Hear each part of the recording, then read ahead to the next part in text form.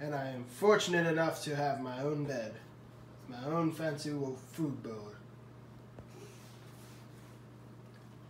I'm so lucky. Hmm.